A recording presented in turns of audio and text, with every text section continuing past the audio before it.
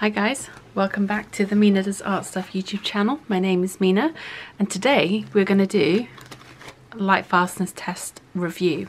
So a few months ago I posted my um, first part to my light fast testing uh, light fastness testing project where I painted out swatches for a bunch of the watercolours that I had and um, I cut the strips in half and went ahead and popped the left side in um, a south facing window we're here in the U we're in the UK so south facing windows get the most sunlight. And I did these swatches this, this test went up on the 3rd of June of this year so right sort of at the beginning of the summer.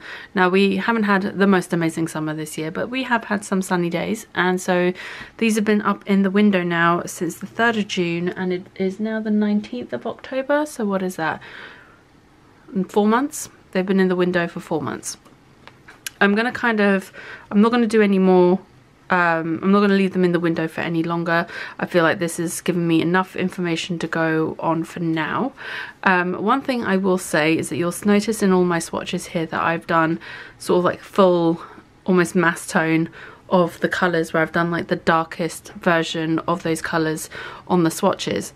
What I've learned since doing this, and there's another YouTuber called Kimberly Crick, um, who does lots of really good light fastness tests and reviews and other sorts of videos on her channel which if I remember I will leave linked below. Otherwise you can just Google, search on YouTube Kimberly Crick and her channel will come up. Um, and what I learned from her is that sometimes with certain colours they can fade more in lighter washes than they do in the mass tone. So it's always important to make sure that you do your swatching for light fastness in like a gradient. So I think going forward and even with some of the colors in the pile here that we're going to look at I'm probably going to do another light fastness test and make sure I do the swatches as more of a gradient than um, just a solid swatch to really test and see how the colors may or may not fade um, over time. And the reason why I'm going to be retesting some of the colors is because there are some colors in here that are notorious for fading that have not actually faded that badly. And it might just be that you know maybe we just didn't get enough sun maybe it's not been in the window long enough or maybe it's that they fade more in a wash than they do in mass tone. So that's why the, so there are certain colors that I'm definitely going to be retrying with um, this test with. Okay so starting out we have um, these were some of the Turner watercolors that I did. I'm not going to go over every single one. I'm going to just point out the ones that have noticeable changes and I have marked them and I have a couple of different marks. So the spots if I if I have like a little black dot that's usually just um, minor changes or not so much of a change that I feel like it would impact the overall look of a painting with that degree of fading. So with the Turner watercolours, the Rose Madder and the Maya Blue are, I'm not sure how well it picks up on camera, but in real life they have, the Maya Blue has faded ever so slightly. In real life, the Rose Madder almost looks like it's a touch darker than it was uh, when I first swatched it out. You can sort of see it there. The swatch on the left is a little bit darker, which I'm not entirely sure about that or why that's happened. Otherwise, all the other colours on this strip were absolutely fine. The second strip, some more, the rest of the Turner colours that I swatched were also absolutely fine. Um, towards the bottom here, the Winsor & Newton Opera surprisingly did well like it's definitely got some fading the again it's not going to pick up super well on camera you can kind of see here it's like there we go you can kind of see there the luminosity of that opera is what's faded, but the colour is still looking really good. Um, the next up, the Winsor & Newton Prussian Blue. This is what I mean. This is one of those colours that I'm definitely going to be testing again because it, it has some fading. I'm trying to see if I can show you at an angle. There you go. That seems to be the good angle to show you. Um, you can see there's some fading, but nothing too significant at all. Like nothing really bad. Um, nothing where I'd be like, oh, that's ruined a painting because it's faded so much. Um, but yeah, so that seems fine to me. Then next up we have uh, the Arteza 36 colour set. Um, I'm not going to go through these one by one because if I just lay them all out here, you'll see um, how these are fed. Not great. So anything with an X on it means it's faded terribly. Anything with a dot means it's faded a bit, but nothing horrendous. Nothing that I would consider to be absolutely horrendous. Like these three blues here have definitely faded a bit, but nothing terrible. Whereas these reds have all like basic, I mean, some of these yellows have basically gone back to white. It's absolutely, um, yeah, that was that was a surprise. I knew they weren't going to be the best quality paints, but I wasn't expecting them to completely fade quite so badly. So this is the 36 set of Arteza watercolours. Um, I'd say they'd be alright for like sketchbook work and stuff, but nothing you're planning on hanging on a wall in a room exposed to sunlight. So those were the Arteza watercolours. And even on the swatches that were left in a dark um, dark place. So I had the ones that weren't going in the window, I had them up in the, um, say up, I had them in my uh, bedside table drawer, so in a dark drawer. But even those swatches look a bit streaky and not that great. Alright, then next up we have the Mijello Mission Gold watercolours. These actually did really well. Only one has some slight fading. Unsurprisingly, that's the Prussian blue. Like I said, Prussian blue is notorious for fading, so I was fully expected this to be worse. You can see that difference there. Um, there we go. You can see that's faded a bit, but it's really not that bad at all. It's really not obvious. Um, at least not there again. It's not so obvious I'd be like, oh, that painting's ruined now. But the rest have all turned out absolutely fine. Now, this is a set that I could do a video on separately if you guys are interested in. This is the Mijello Mission Gold Pure Pigment set plus three additional paints that weren't in the original Pure Pigment set. There's the Prussian Blue that I added. Peacock Blue is a two pigment colour and Sap Green which is also a two or a multi-pigment mix. So those were ones I bought separately and added. Otherwise everything else is from the um, single pigment 24 set so I could do a, a review video on those if that's something you're interested in please let me know then next up we have a selection of Schmincke Schmincke paints. I didn't swatch out all of my Schmincke paints. I just swatched out the ones that I thought might fade. I was curious to see if they would fade or um, yeah, I just wanted to see how they would hold up. So for example, like typically in general with watercolors, reds and pinks and violets are quite hard to, um, it's quite hard to find good light fast reds and pinks and violets. There are some, but some of them do fade as well. So I was really happy to see that most of my Schmincke reds and pinks are really light fast other than the only one that's not is Schmincke's Brilliant Purple and that is actually a fluorescent paint so again it loses its um, luminosity that's fluorescent um, aspect to it annoyingly fluorescence isn't something that picks up particularly well on camera so I'm trying to show you as best as I can. I think you can see it there. But I don't think it's faded that badly. It hasn't like faded to white or anything. You still have the colour of the pigment. It's just the fluorescent dye part of it has faded and that's what gives it the brightness. But it's still a usable pretty color so I don't think it would again I don't think that um, would necessarily ruin a painting and then with the other colours that I swatched from Schmincke, again, just testing to see if any of these would fade. The only one that's shown some sign of fading, again, is the Prussian Blue. Um, I'm not sure if you can see that on camera. My camera's kind of like trying to adjust for adjust for that a little bit. But it definitely has faded ever so slightly. Not much at all. Again, not nice. Not it's not the sort of thing where if I'd painted something using Prussian blue and then came back to it six months later or four months later and was like, oh, that blue is really faded. Like that's not the difference that I see there. It's not that noticeable. I mean, there is a difference, but I don't think it's that worrisome. The other one that I thought was interesting was Schmincke's Indigo because even though it's a two pigment mix, one of the pigments is an original syndigo, an original indigo pigment. So I fully expected that to fade more than it has. but maybe again it's just one of those that needed to be washed out a little bit more to see any sort of fading.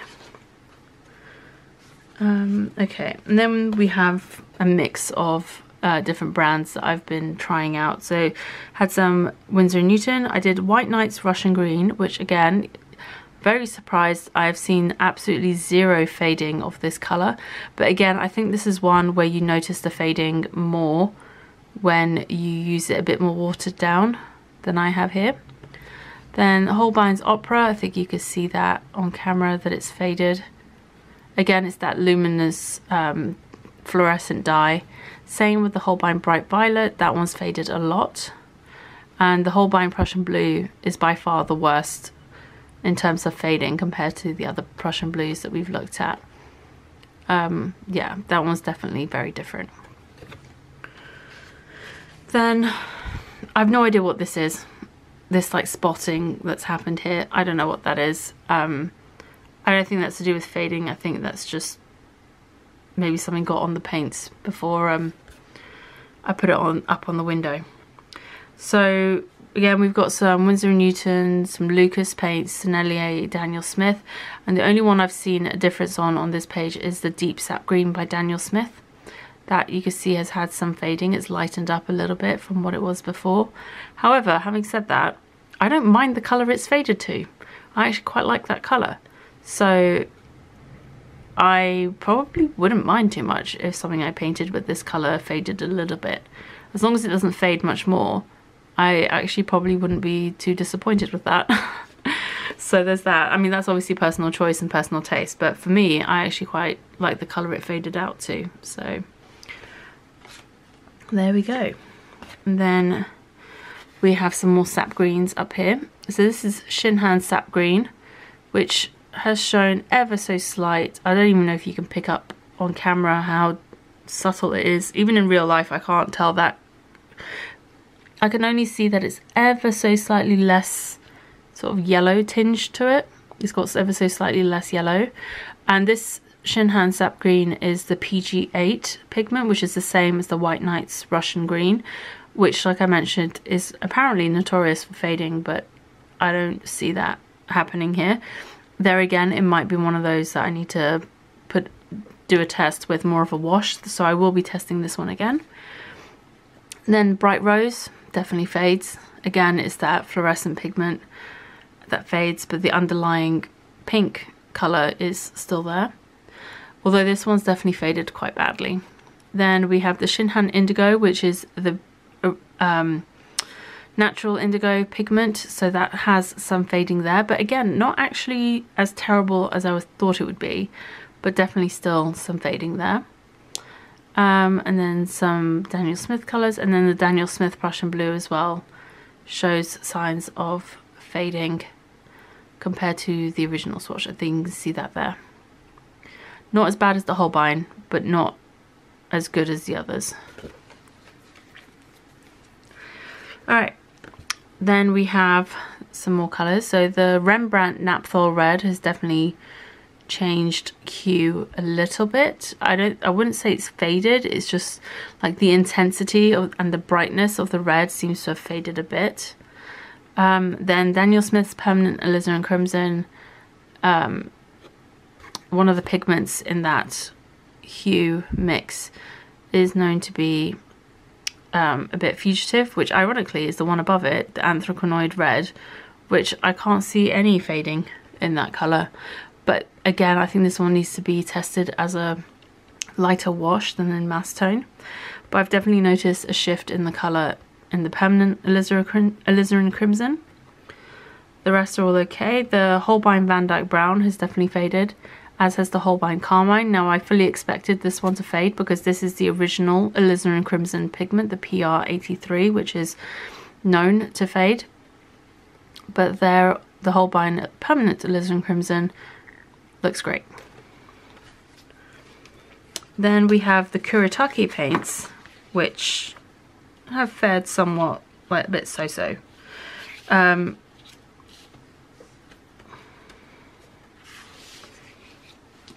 Okay, ignore these ones for now. Um, again, like I mentioned, reds and pinks are quite hard to find light fastness versions of. So a lot of the reds and pinks and some of the oranges and yellows have faded over here in the Kuretake colours. So you can see that there. Um, otherwise the greens and blues have held up pretty well. I think this was Prussian blue again that's faded. But again, not terribly, but it has faded. And then on this one here, I think this one was called purple. And that's basically completely disappeared. But I also don't know what this whole texture thing is going on here. Um, again, I'm not sure if that's something to do with the paint reacting to light or what, but I don't know what that texture is. And then we move on to some of my White Nights paints that I tested out here. And you can see here the golden colour.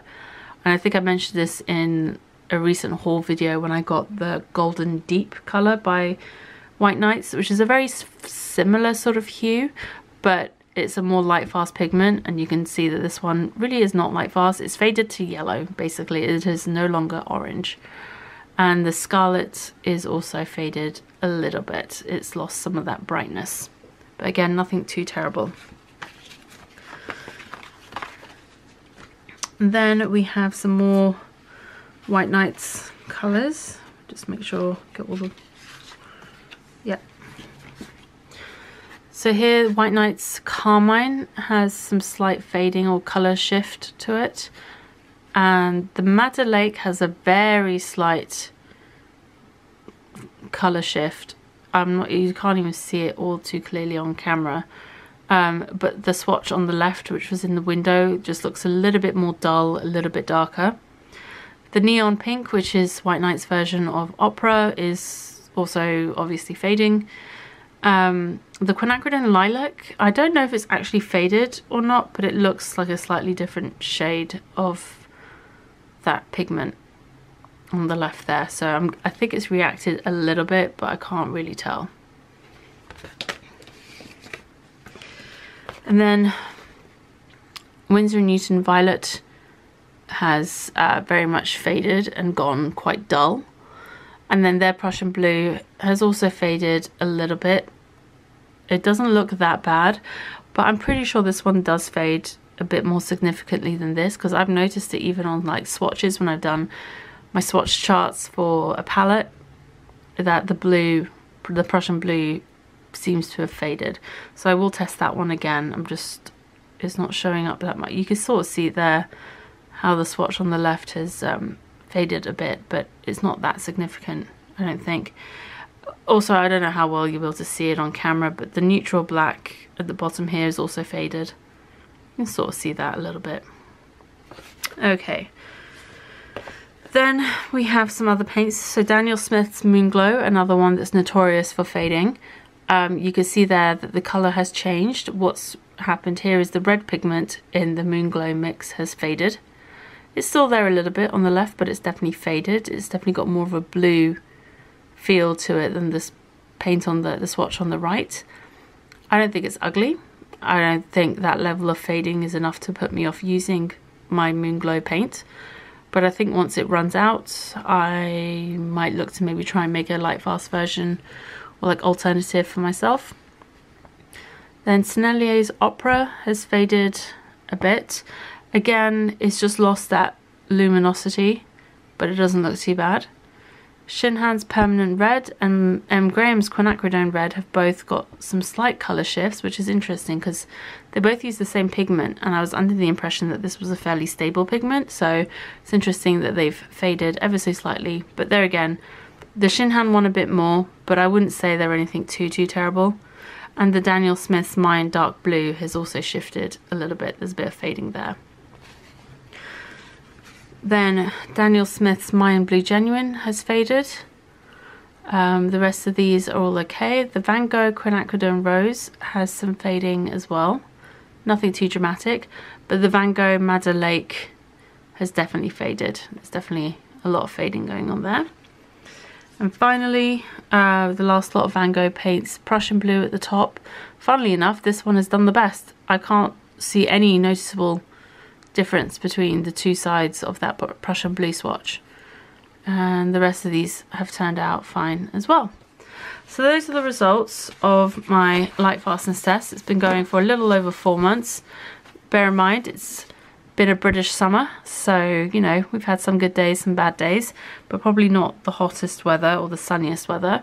Um, so take that for what you will. I live in the south of the UK, um, and yeah, so this is how my paints have fared up in sunlight where I am. I have added some new paints to my collection since doing this and I have other paints that I never got around to swatching the first time so I might do another round of this probably in the spring next year and have it up for about six months this time over the summer and we'll see how those fare and I will definitely do the swatching as more of a gradient to get a better sort of more accurate um, read on those um, light fastness tests. All right, thank you so much um, everyone for joining me today. I hope you enjoyed this video. I hope you found it informative. Let me know what you think. Have you done any light fastness tests yourself? What have you found to be colours that are faded that you were surprised to see fade or that you were surprised it didn't fade? Um, I'd love to hear your thoughts on that. All right, I'll see you next time. Bye.